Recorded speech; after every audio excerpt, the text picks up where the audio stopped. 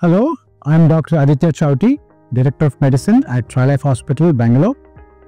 Well, I would like to spread a message across.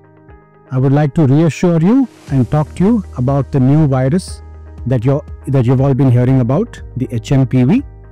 Well, first of all, it is not a new virus. It has been around for several years. It's just that it has come to limelight now. There have been cases which have been reported in the past but in the light of the two new cases which have been detected in Bangalore city, I would like to tell you there is no need to panic. It behaves like any other respiratory infection. It's an RNA virus, so you can actually say it's another viral infection.